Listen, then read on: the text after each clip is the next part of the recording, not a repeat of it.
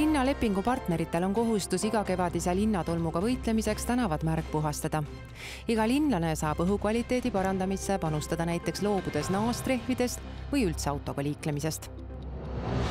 Toompea tugimüüri äärde luuakse isetekkelise jalgraja asemele korralik jalutusrada. poole kilomeetri pikkune tee kulgeb tugimüüri ääres, kus vajadusel saab istuda ja vaateid nautida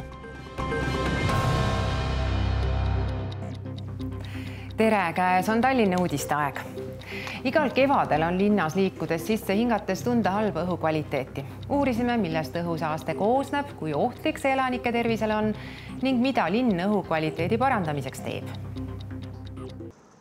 igal kevadel halveneb Tallinna linnaõhu kvaliteet märgatavalt. ehkki Tallinn on Euroopa Keskkonnaameti paari aasta taguse uuringu järgi Euroopa kõige puhtama õhuga pealinn, ületab aeg-ajalt Tallinna mõõtejaamades õhusaaste lubatud normi. lumi sulab ära ja kõik talve jooksul tänavatele kogunenud saaste hakkab autorataste alt uuesti õhku lenduma ja lihtsalt ei ole veel jõutud nii kähku seda talvist mustust ära puhastada aga ka kindlasti see, et, et inimesed vaatavad, et ilmad lähevad soojaks ja hakkavad grillima, hakkavad aias äh, lõket äh, tegema ja see kõik äh, kindlasti mõjutab.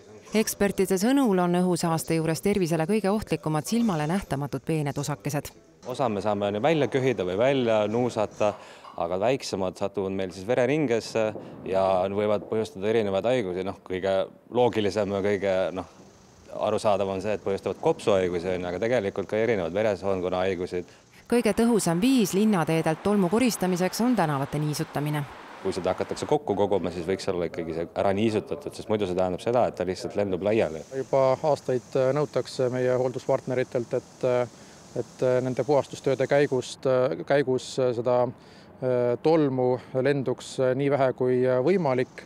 Uustali sõnul on huvitav see, et õhusaaste graafikuid jälgides pole mingit korrapärasust või etteaimatavust. Selliseid väga kõrge õhusaastatusega perioode on ka näiteks keset ööd, kell kolm öösel, kell neli või viis öösel.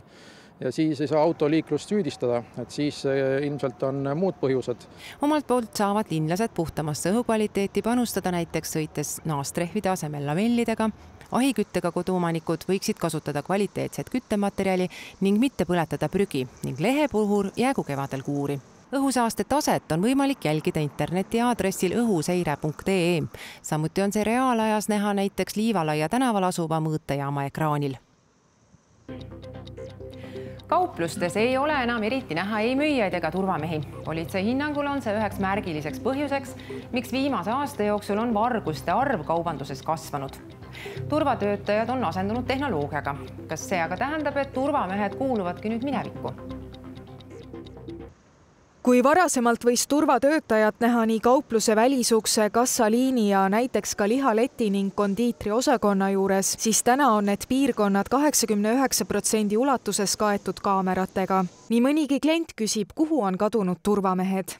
turvamehed üldjuhul jälgivad meid antud hetkel siis kaameratest ja vajadusel kui, äh, kui jah, selleks vajadus tõsiselt on, siis nad alles tulevad välja ja näitavad ennast. ehk siis täna jälgitakse rohkem ja tuvastatakse siis ekraanidelt. vanasti oli see, üritati saada nagu kaupluses siis oma silm peale, aga nagu te näete, siis need riiulite vahed on suht kõrged ja mida see üks silmapaar ikka suudab tuvastada. süstemaatiliste varguste arv on kasvanud aga kogu aastaga viiskümmend kuus protsenti ning enamik vargusi pannaksegi toime kaubanduskeskustes või kauplustes. Neist valdav osa kutseliste pättide poolt, kes tunnevad end ilma turvamehe valvsa pilguta enesekindlamalt poe personalil on olemas ka paanikanupp, ehk siis mis vajutatakse hädaolukorras ja siis neile tõotab appi lähim kiire patrulliekipaaž. teine oluline aspekt on muidugi see, et ka turvaettevõtjad, kes siis pakuvad oma patrullvõrgustikku, et kui kiiresti nad jõuavadki hädavajajani ka, et et noh, meie teeme selle nimel väga suurt tööd, et me jõuaksime kassapidaja appi kutsele nii-öelda viivitamatult, et, et see kindlasti annab ka sellise kerge võimaluse või, või loob sellise tingimuse kauplustele, et on turvatöötajaid töötajaid vähem küll aga on G4S andmetel hakanud viimasel ajal kauplused ja kaubanduskeskused taas nende poole pöörduma sooviga turvatöötajaid juurde värvata. seesama plaan on ka Ülemiste keskusel. noh, lihtsalt niisugune psühholoogiline turvalisus on, on parem, kui neid turvamehi on rohkem, on ju. olgu siis teadmiseks kõigile, kes tahavad Ülemiste keskusesse näppama tulla aga ma arvan, et, et tehnoloogia kasutuselevõtt pigem nagu parandab seda süsteemi ja minu arust ei ole veel praegu küll selline, et see on nagu alternatiiv turvainimesel. et äh, kaamera on ikka selline, kus sa äh, noh, hiljem saad nagu noh, võtta lindi välja ja vaadata, et mis toimus ja siis võib-olla tuvastada selle inimese, kes seda asja tegi. aga see, et mõnele nii-öelda pätipoisile järgi joosta ja tal natist kinni võtta ja võib-olla ka mingi nii-öelda karmim võte temaga teha, seda ju kaamera ei tee. Eesti Infotehnoloogia ja Telekommunikatsiooni Liit on üle kahekümne viie aasta tunnustanud sektoris auhindadega neid, kelle ideed või tegevus on oluliselt mõjutanud Eesti elu. täna on liidul sada kakskümmend neli liiget ning osad neist said ka tunnustatud mulluse tegevuse eest sai aasta tegija tunnustuse Ericsson Eesti, aasta teotiitli pälvis Rakendusuuringute Keskuse loomine, ideeks pärjati Tervisekassa pilveminek. aasta läbimurdja on kosmosetehnoloogia ettevõte Value Space IT-ettevõtete liidu tegevjuhi Doris Põllu sõnul jälgiti aasta jooksul pidevalt kõigi edulugusid järjest olulisemaks on muutunud see, kuidas meie ettevõtted, erasektor oskab ennast kaitsta ka kübermaailma rünnakute eest ja tunnustada ka seda koostööd, mida erasektor teeb teistele sektoritele nende küberturvalisusteadlikkuse kasvatamiseks. Ericsson Eesti on üks konkurentsivõimelisemaid ettevõtteid ning teinud Eestit digivallas maailmas tuntuks loomulikult olles nagu väga suur ja oluline osa Ericssoni globaalsest tarneahelast ja eriti meie kohalolust tööstuses siin Euroopas, mitte ainult Eestis, siis ma usun, et, et sellel on hästi oluline roll äh, nii Eestile Eestis kui ka tegelikult kogu Euroopas, kui me vaatame telekommunikatsioonisektorit aasta idee on Tervisekassa pilveminek. tavakodanikku huvitab, kui kaitstud on kõik pilvepõhistele andmetele üleminekuga. tegemist on ju erakordselt tundliku valdkonnaga. tervisekassa juhatuse esimees kinnitab, et kaitse on mitmekordne. kinnitatud, testitud, pluss ka see, et kui äh, Eesti andmed on olemas nii kodumaal kui välismaal, siis see lisab ka lisakindlust. Et kui midagi peaks kuskil vussi minema, siis on kindlasti andmed olemas. IT-ettevõtete liidu rahvas nautis head seltskonda ja oli aega isekeskis mõtteid vahetada. digiühiskond areneb kiiresti, uusi tehnoloogiaid tuleb peale ning meie peame käima ajaga sammu, olemaks maailmas konkurentsivõimeline politsei- ja Piirivalveamet ootab tänasest viienda aprillini aadressil liiklustalgud.ee kõikide tähelepanekuid kohtadest, kus autojuhid pidevalt kiirust ületavad. märgatud kohad võtab politsei sihikule järgmisel nädalal politsei sõnul teavad ja märkavad kohalikud inimesed kõige paremini, kus on probleemsed kohad liikluses. näiteks eelmisel aastal tehti liiklustalgude kaardirakendusele enim märkeid Tallinnas Luise, Koidu ja Toompuiestee tänavate piirkonda talgute ajal fikseeriti siis seal neliteist liiklusalast rikkumist. seetõttu kutsutakse kõiki endale appi andma veebilehel liiklustalgud.ee võimalikult täpselt teada, kus ja millal autojuhid kiirust ületavad paneme kõikidele inimestele südamele, et kui te seda kohta märgite, siis märkige võimalikult äh, täpselt see kellaaeg sinna. kui see on näiteks selline probleem, äh, kus äh, kiiruse ületamine on probleemiks ainult kas õhtuti, hommikul, päevasel ajal või öisel ajal on ju, või mingil kindlal nädalapäeval, et mida täpsemini selle info meile te edastate, on ju, seda paremini saame me tegelikult seda infot ka kontrollida liiklustalgutest on saanud omamoodi kevadekuulutaja, mil politsei keskendub pärast pikki talvekuid kõige põletavamale probleemile liikluses ehk kiiruse ületamisele.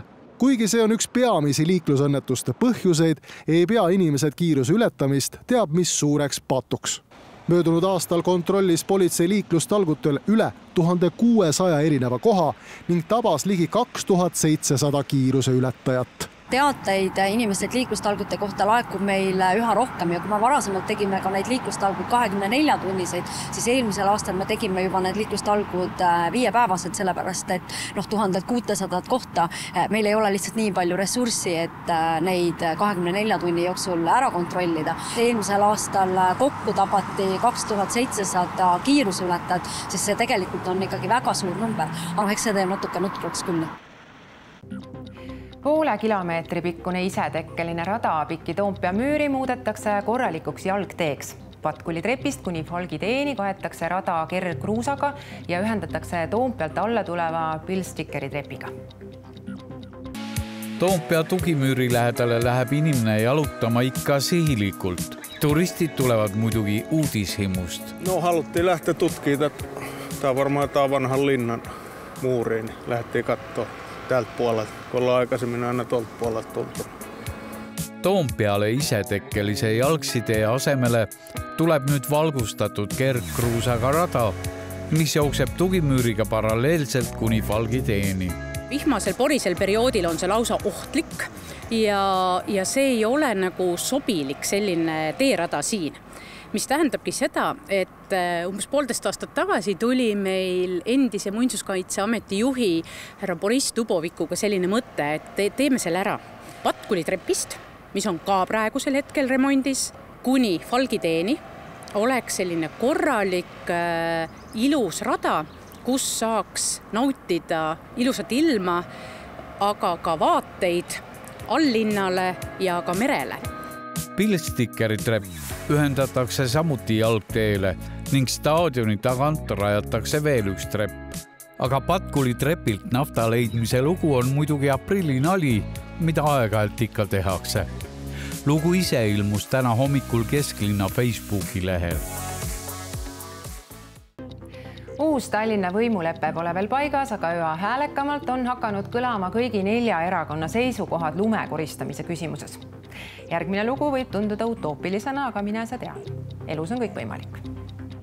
Kuigi uusi makse Tallinnas lubatakse pärast kohalike omavalitsuste kahe tuhande kahekümne viienda aasta valimisi, on praegu Tallinnas võimuläbirääkimisi pidavad erakonnad Isamaa, Eesti kahesaja, Reformierakonna ja Sotsiaaldemokraatliku Erakonna liikmed juba ühel nõul, et Tallinnas tuleb kehtestada viivitamatult tänava soojustusmaks ja linna kodanikumaks. mis me siin aega ikka viivitame, ega kiirustama ei pea, aga viivitama ei pea ka mitte. linlased ikkagi ootavad ja sõltumata, kelle kellel mis emakeel nüüd on, on oluline, et linn oleks juhitud. nii et äh, teeme need asjad ära, räägime sisuliselt, räägime või öö läbi, aga teeme asja ära ametist lahkuv linnavõim plaanis Tallinnas ka ühistranspordivõrgu reformi, see läheb samuti ümbervaatamisele. Tänava soojustusmaks tuleb välja, et polegi midagi uut. Eesti on siiski viie rikkama riigi hulgas iseenesest, kui me vaatame seda, äh, kuidas äh, mõnes teises äh, linnas on lahendatud tänavate hooldus, siis ega see tänava all soojustuse loomine ei ole midagi ebareaalset. samuti, kui me mõtleme selle peale, et kas meil on tänavate all juba praegu soojustrassid, iseenesest on. Nii et ma arvan, et kui Tallinnas kuskil leitakse gaasi, nafta või kullavarud siis see plaan oleks täiesti teostatav ja siis saaks rajada sellised äh, tõesti kulla hinnaga tänavad ja siis võib oletada, et äh, vähemalt kesklinnas ühe tänava ruutmeetri maksumus jõuaks korteri ruutmeetri maksumuseni uut Tallinna võimuliitu moodustavad erakonnad on ka ühel meelel, et kõik nõndanimetatud tasuta linlastele jagatavad hüved kaovad. Olgu selleks siis tasuta ühistransport, tasuta pargikontserdid või tasuta koolilõuna ega need läbirääkimised ei tule lihtsad, aga koalitsioonikõnelused ei ole kunagi lihtsad. ma hetkel niimoodi mingeid suuri olulisi riske tegelikult ette ei näe, et ma usun, et partneritel on ühine tahe linna koos valitseda ja, ja küll siis need vajalikud kokkulepped erinevatel teemadel ka sünnivad. No kui uus koalitsioon tõesti tahab hakata tänavaid soojustama, siis kuidagimoodi seda kulu nad katma peavad. Nii et äh, kindlasti neid ootab ees keeruline töö, et aru saada, kust seda raha võtta. aga tuletame meelde, et täna on siiski esimene aprill ehk naljapäev ja osa infost, nagu näiteks meie viimast lugu, tuleks vaadata läbi huumoriprisma. millist vempu viskab aga meile aprillikuu ilm, kas läheb veel soojemaks või hoopis külmemaks, vaatame kohe lähemalt